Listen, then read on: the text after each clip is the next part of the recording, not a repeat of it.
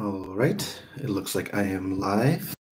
I'm hoping that is the case. Maybe you can hear me. Um, hopefully, hopefully. All right, welcome back to Ovid in the Time of COVID 19, um, a series wherein I read Ovid's Metamorphoses from the first line to the very last. Um, and make my way through it one half book at a time um, because Ovid's poetry um, is great and um, a poem about metamorphosis and transformation in these times of constant flux, I think is very um, helpful uh, to hear. Um, so as usual, I'm going to be reading from my Oxford Classical Text here um, that has seen better days. I'll keep pointing this out because I'm, I'm, sort of proud at how beat up this old book is, uh, but maybe I'll need to get a new one soon. Uh, but in any case, so um, I'll be reading from this, um, and I'll be pausing every now and then uh, with the um, episode titles from um, Rolfe Humphreys' translation of the Metamorphoses. Um, there are only a few for this session. Um, uh, and I think you could have done a lot more actually in terms of uh, splitting up the the large episodes. Um, but we're going to start off um, with the beginning of book two. Um, so we're going to start off with the journey of Phaeton um, to see his father, um, the sun, um, where he goes for a joyride in the chariot of the sun, and it doesn't go very well for him. so we're going to start off um, from line one of book two. We'll make our way halfway through the book, and then we'll end there for the week. And then I'll come back next Monday with the second half of book two. Um, so here we go over the story of Phaeton at the beginning of Book Two of Ovid's Metamorphoses. Regia solis erat sublimibus alta columnis, clara micantauro flammasque mitante piropo, quius ebur nitidum fastigia summa tegebat, argenti bifores radiabant lumine valvae. Materiam superabat opus, nam mulciber illic aequora cae larat. Medias cingentia terras, terra rumquor bem cae lumquod imminet orbi. Cae ruleos habet unda deos, tritona canorum protea quam biguum, balena rumque prementem, aegaeona suis immania terga lacertis, dorida cetna tas, quarum pars nare videtur, pars in mole sedens virides sicare capillos, piscevihi, quaedam. Facies non omnibus una, non diversa tamen, qualem decet esse sororum. Terra viros urbesque gerit, silvasque ferasque, flumina quet nymphas et cetera numina ruris.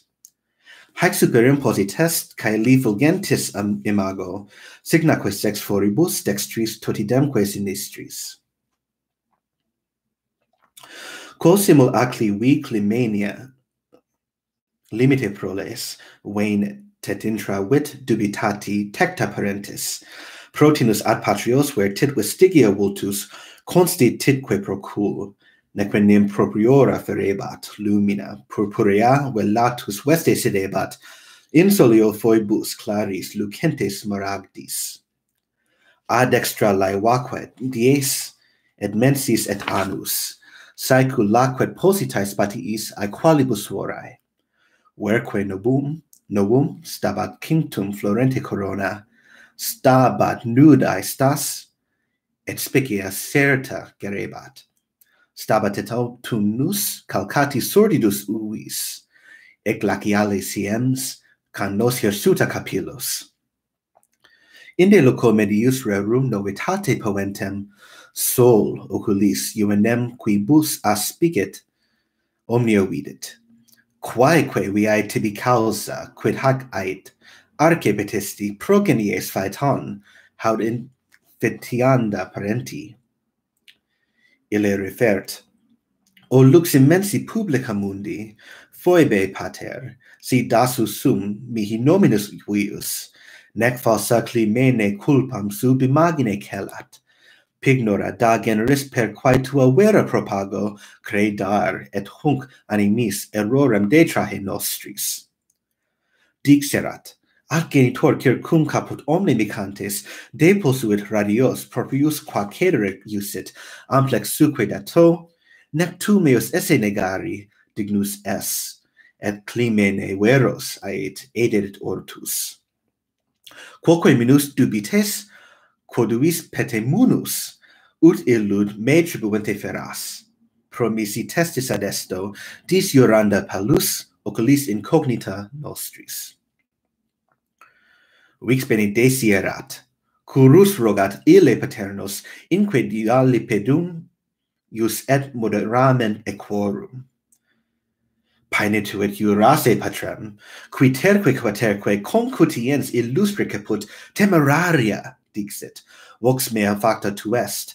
Utinam promisa liceret non dare confitior solum soloc divinate negarem. Dissuadere licet non est tua tuta voluntas magna petis faeton et quae nec viribus istis munera conveniat nec tam puerilibus anis.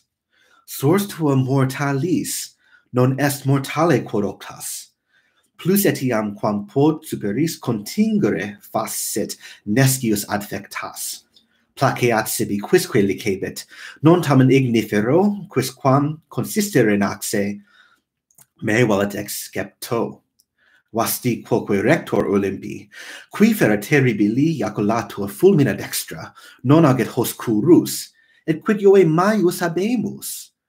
ardua prima viest et qua vix mane recentes e netuntur qui mediest altissima caelo unde mare terras ipsi mihi saepe videre fit timor et pavida trepidat formidine pectus.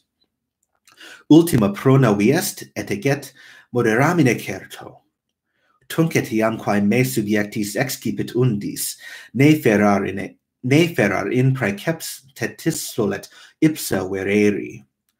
Are curar sidua rapitur vertigine caelum sidera qualta trahit, celerique volumine torquet. Nitor in adversum nec me qui cetera vincet impetus et rapido contrarios evehor orbi. Finge detos curus. Quid ages? Poturisne rotatis obvius ire polis. Ne te citus alferet axis? forsitan et lucos illic urbesque deorum concepigas animo de lubra quae ditia donis ecce perensidias iter est formasque ferarum, utque viam teneas nulloque rore traharis. Per tamen adversi gradieris corno tauri, haemonios quarcus violenti quora leonis, saeva quae circuitu, curvantem brachia longo scorpion at qualiter curvantem brachia cancrum. Nec tibi quadrig repedes animosos ignibus illis quos in pectora bent quos ore naribus efflant. Impromptu regerest vix me patiuntur ubacres in caluer animi cervixque repugnat habenis a tu funesti nesim tibi muneris auctor, nate cave, dum resque sinit, tua corrige vota. Scilicet ut nostro genitum te sanguine credas, pignora certa petis, do pignora certa timendo, et patrio pateresse metu probor, aspice vultus. Ecce meos, utinam quoculos in pectora posses inserere patria sintus de prendere curas. De nique quicquid habet, dives circumspice mundus, eque tot actantis caeli terraeque marisque, posce bonis aliquid. Nullam patiere repulsam. De precor unum, de precor hoc unum quod vero nomine poena, non honor est, pornam pro promunere poscis. Quid mea colla tenes blandis ignare lacertis ne dubita dabitur stigias iuravimus undas quod cum quoptaris sed tu sapientius opta.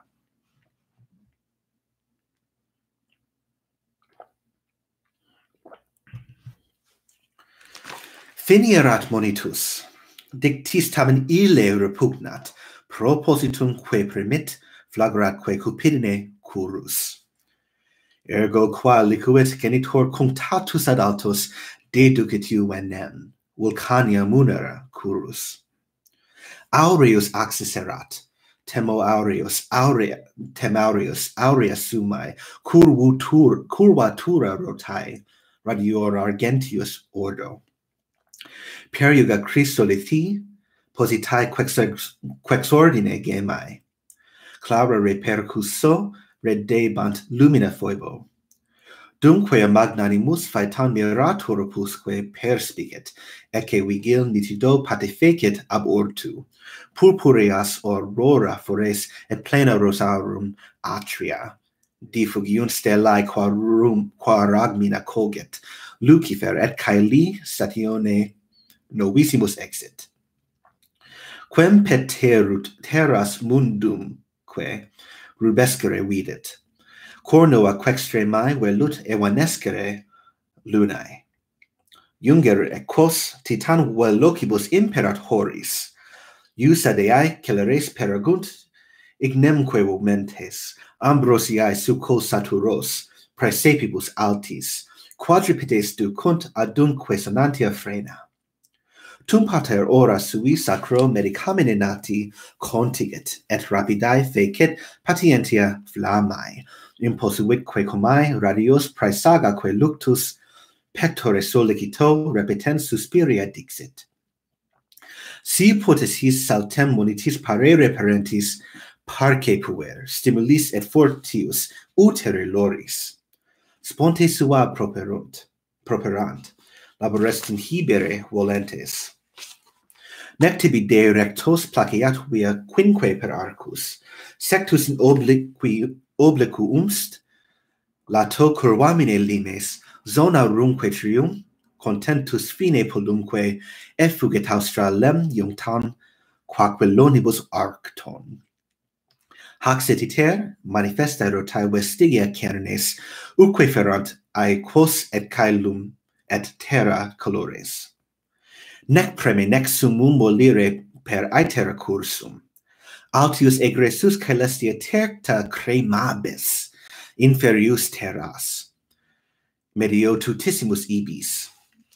Neo te dexterior tortum declinet ad anguem neve sinisterior presambro te ducat ad aram. Inter trumque tene.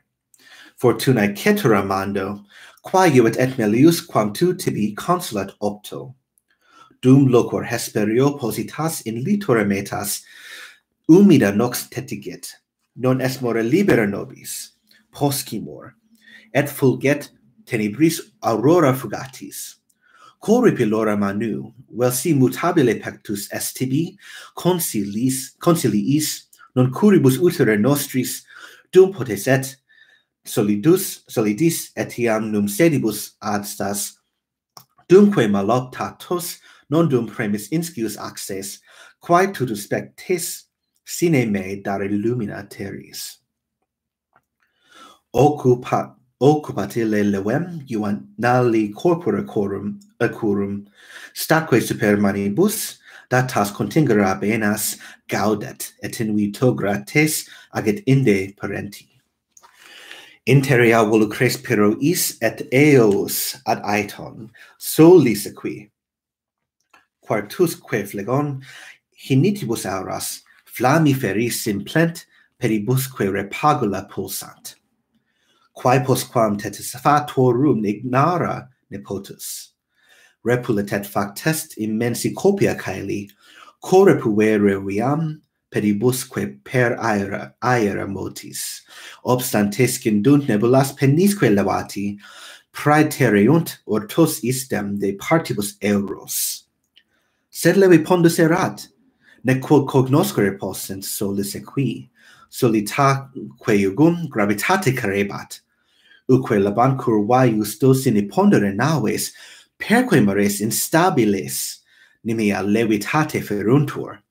Sic onerat sue sueto, vacuus, dat in aere saltus, sucutitur alte similis, quas curus inani quodsim al accensere ruunt, tritumque relinquunt, quadrigui, quadrigui spatium ne quo prius ordine curunt. Ipse poet ne qua comisas flectat habena, excuse me, nec sciet quas sed iter nec sciat imperet illis. Tum primum radiis gelidi caluere triones, et ve Tito frustra temptarunt aequore tingi, quaeque polo posites glaciali proxima serpens, frigore pigra prius, nec formida, formidabilis uli. Incaluit sum sitque noas vervoribus iras.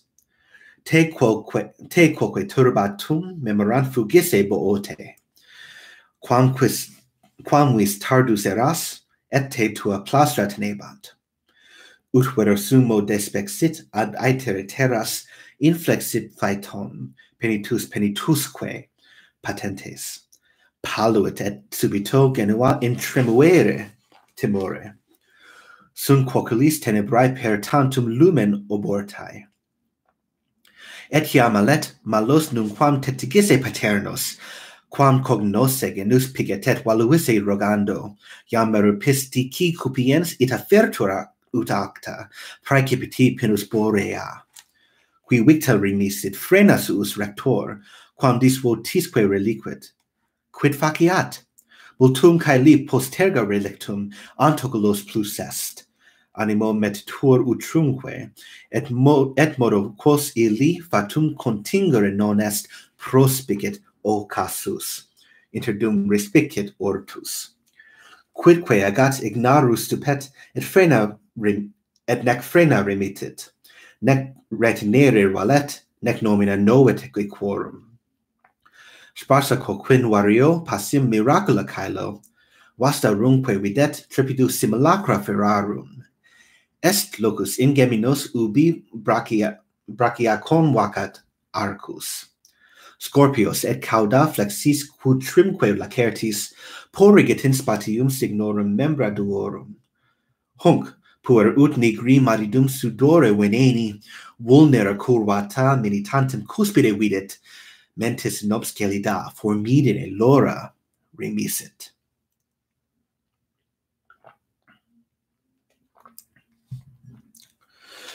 Quae postquam sumum tetigere iacentia tergum, expatiantur equi, nullo quinhibente per auras, ignotae regiones deunt, quaque impetus eget hac sine lege ruunt, altoque sub aeter fixis, incursans delis rapiunque per, per avia curum.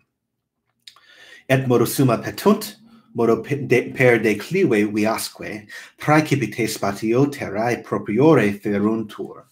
Inferiusque suis fraternos curere luna, admiratur ecos, ambustaque nubila fumat. Correpitur flammis, ut quaeque altissima tellus. Fissa quia fissa quaget rimaset sucis aret edemptis pabula canescunt cum frondibus uritur arbor. Materiamque suo praebet seges arida damno. Parva queror magnae periunt cum monibus urbes. Cumque suis tas populis incendia gentes incinerem vertunt silvae cum montibus ardent, ardet atos taurusque cilix et tmolus et oete. Et tum sica prius creberiba, creberima fontibus, ide virgenius quelicon et nondum, non doegag, noiagrius haimus. More religions. Ardet nemensum geminatis ignibus aetne. Parnassosque biceps et rux et Cinti, et hortus. Et tandem nivibus rhodope caritura mimasque. dindima dindima quet micale, dindima quet Michaele natus quod sacra citairon nec pro sunt scitiae sua frigora. Aeriae quae alpes et nubifer Apenninus tum vero phaeton cunctis et partibus orbem aspicit acensum, nec tanto sustinet aetus aestus. Ferventes vel lut e fornace profunda. Ore trahit curusque suos candescere sentet.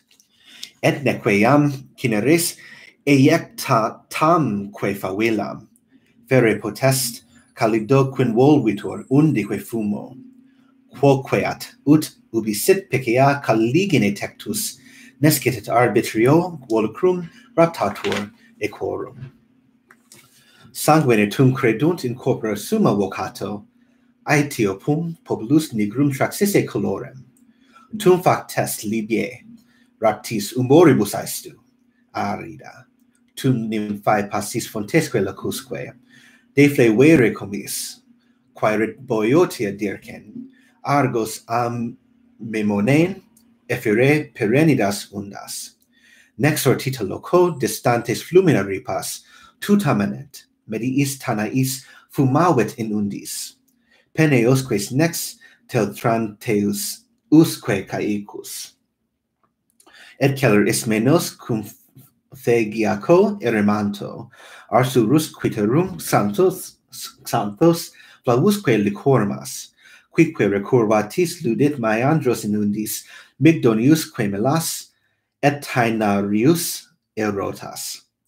Arsit et eufrates Babylonius arsitorontes, termo donque cictus, ganges qued facis et hister. Aestuit alpheos, ripais berceides ardent, quoque suo tagus, tagus amne vihit, flut ignibus aurum, et quae maionias celebrant celebra, celebrabant Carmine Ripas, Flumineae volucres medio caluere caestro. Nilus nextremum fugit per territus mm. Nilus nextremum fugit per territus orbem, oculuit, oculuit caput, quod arcuc latet ostia septem, per verulenta vacant septem sine flumine vales, Forse edem is mar rosabrum, cum strimunis sicat, hesperios quam nes renum rodanumque padumque.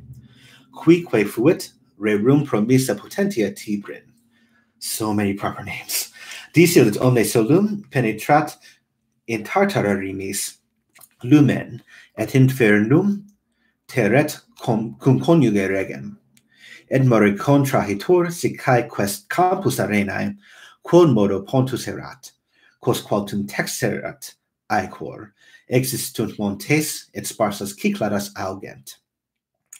Ima petunt pisces, nec se super aequora curvi, tollere, consuetas audent, delfines nauras, corpora focarum, sumo resupina profundo, ex animata natant, ipsum coque nerea famest, Dori de natas tebidis latuisse subantris.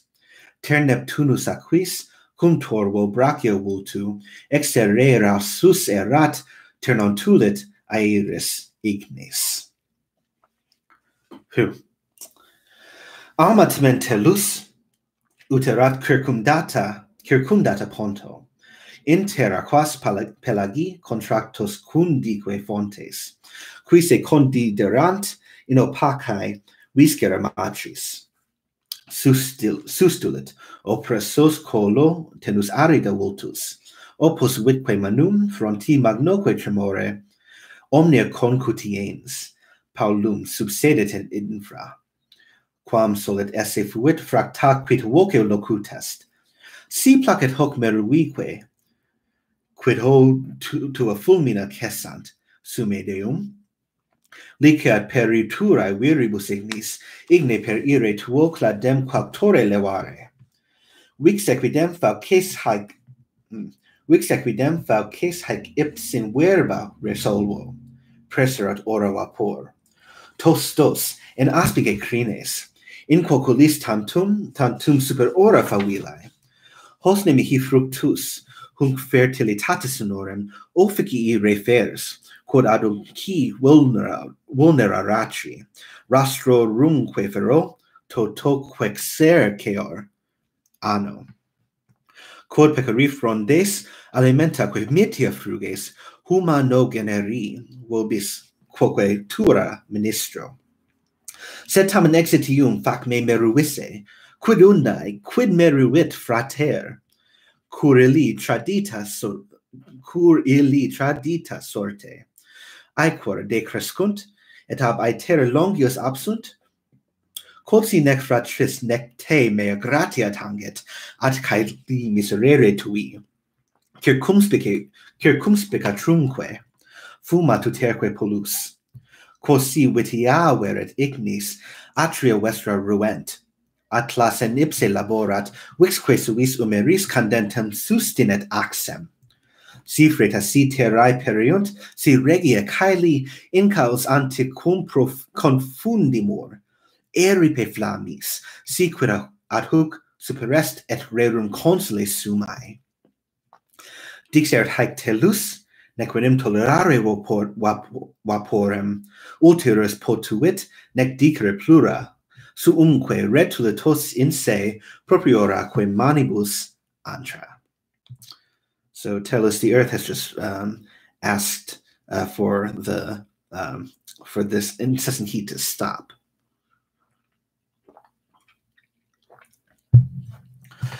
Ad pater omnipotens superos testatus et ipsum quididerat curus ni so pemferat omnia fato interitura gravi sumam petit arduus arcem. Undes let nubes latis inducere teris unde movet tonitrus vibrataque fulmina iactat. Sed neque quas posset terris inducere nubes, tunc habuet nec quos caelo demitteret imbres. Intonat et dextrum libratum, fulmen ab aure, misit in aurigam pariter quanimaque rotisque. Expulit, et saevis compescuit ignibus ignes.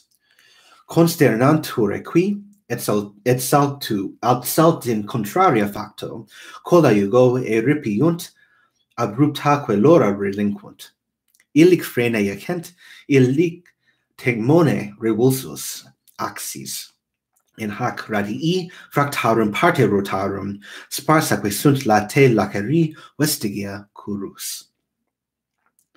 Advaiton, rutulos flamma populante capillos, volvitur in praeceps longoque per aer tractu fertur ut inter dum de caelo stella sereno et si non cecidit potuit cecidisse videri. Quem procul a patria diverso maximus orbe excipit eridanus flagrantia quabluit ora. Naides naides naides hesperiae trifida fumantia flamma corpora dan tumulo signan quoc harmine saxum. Hic situs est phaeton curus auriga paterni, quem si non tenuit, magnis tamen excidit ausis. Nam pater obductos luctu miserabilis agro condiderat vultus, condiderat vultus, et sig modo credimus, unum isse diem sine sole ferunt, incendia lumen praebe bant, aliquisque malofuit usus in illo.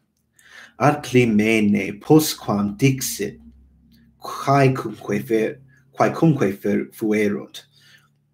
In tantis dicenda malis lugubris et amens et laniata sinus totum percensuitor bem, ex animes quartus primo mox ossa requirens, reperit ossa tamen peregrina condita ripa.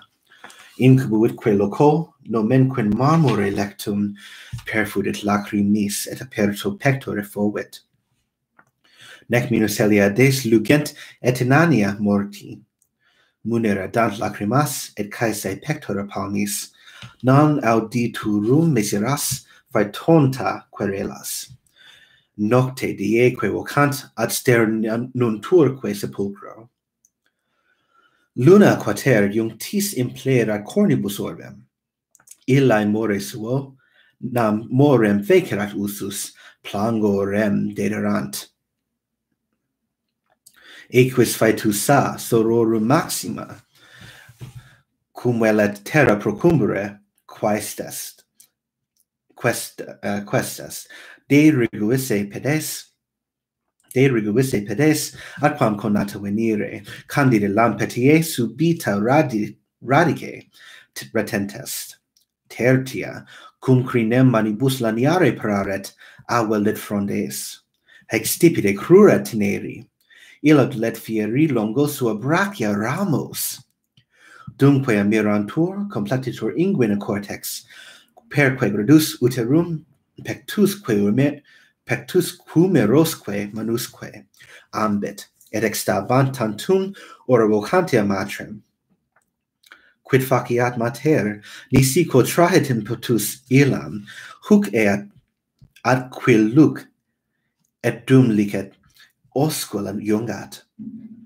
Non satis est, truncis a velere corpora temptat, et teneros manibus ramos abrumpit, at inde sanguinee, sanguineae manant, tam quam de vulnere gutae. Parce precor mater qua cum quest saucia clamat, parce precor nostrum laceratur in arbore corpus, ianque male, cortex in verbora novissima venit. Inde fluunt lacrimae stillata, quae sole rigescunt, dera mis electra novis, quae lucidus amnis, excipit et duribus mitit spectanta latinis. So that's the transformation of Phaeton sisters into trees.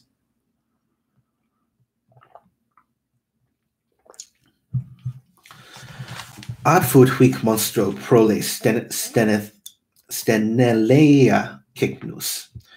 Qui tibi mater noqua misa sanguine junctus mente tamen, phaeton proprior fuit. Ille relicto, nam, Ligur, nam Ligurum populos et magnas rexerat urbes, imperiori pas virides, am nemque querelis.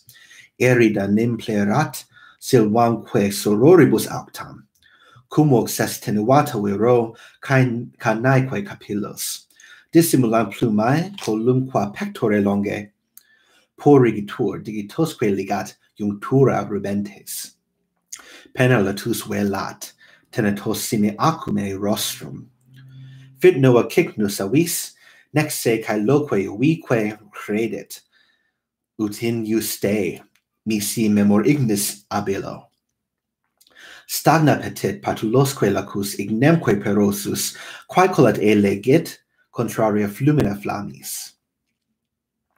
Squalidus interia genitor faetonis, et expers ipse sui decores, qualis cum deficit orbem esse solet, lucemque odit, lucemque dit, se quipse diemque, dat quanimum in luctus et luctibus adicit iram, ofic iumque negat mundo, satis inquit ab aivi sors mea principiis fuit in requieta pigetque actorum sine fine mihi sin honore laborum.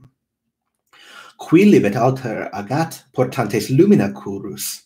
Sine mos domnesque dei non posse patentur ipsagat. Ut saltem dum nostras temptat habenas orba tura patres aliquando fulmina ponat tumskie technipedem ignipedum vires expertus equorum non meruisse necem qui non bene rexerit illus.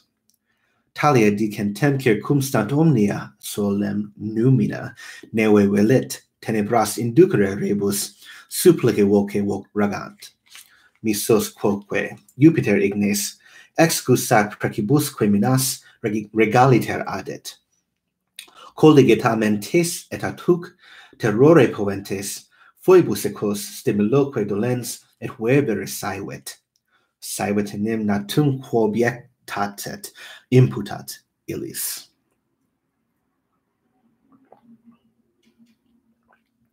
From here, we move into the beginning of the story of Jupiter and Callisto. Ad pater de potens ingentia moenia caeli circuit, et ne quid labe factum viribus ignis coruat explorat. Quae postquam firma suique, roboris, roboris esse videt. Terras hominumque labores perspicit. Arcadiae tamen est in pensior illi, cura suae. Fontesque nondum audentia labi flumina restituit, dat terrae gramina frondes arboribus laesasque iubet, revirescere re, silvas.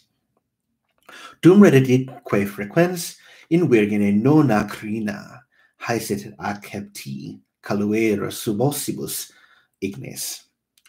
Non erat qui ossopus la namo lire trahendo, nec positu variare comas. Ubi fibula vestem, vita quercuerat neglectus alba capillos et modo leve manu jaculum, modo sum serat arcum, mille serat foibes, nec mainalon, atigit ulla, gratior hac triviae, sed nulla potentia longest. Ulterius medios patium sol altus habebat, cum subit illa nemus, quod nulla cecider, ceciderat aetas. Exuit, hic cum fare tram lentosque retendit arcus in que solo quod texerat herba iacebat et pictam posita fare tram cervice premebat. Jupiter ut vidit Jupiter ut vidit fesset custode vacantem. Hoc certe fortum conjunx mea nesciet inquit aut si rescieret sunt os sunt iurgia tanti. Protinus induitur faciem cultumque dianae quae it O comitum virgo pars una mearum, in quibus es venato iugis. De caspita virgo se levat, et salve numen, me judice dixit, audiat ipse licet maius Iove. Ridit et audit, et sibi praeferisse gaudet et oscula jungit, nec moderata satis, nec sic a virgine danda. Qua venata foret silva narrare parantem, impedit amplexu, nec se sine crimine prodit.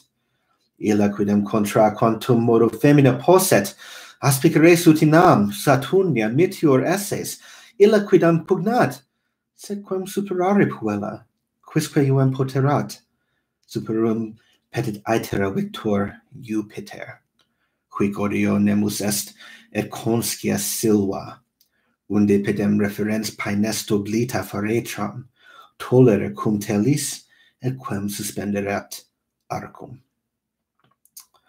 So we leave off here uh, with the violation of Callisto by the king of the gods Jupiter, and we'll pick up nine months later um, with the story of Jupiter um, at line 441 of book two. Thank you for joining in. Um, I am hoping to do this every um, weekday. Um, so because today is a Friday, taking tomorrow, Saturday, and the day after that, Sunday off. I'll be back on Monday. Um, I think I, I, posted on my website at 2 p.m. Uh, with the second half of book two. Thanks.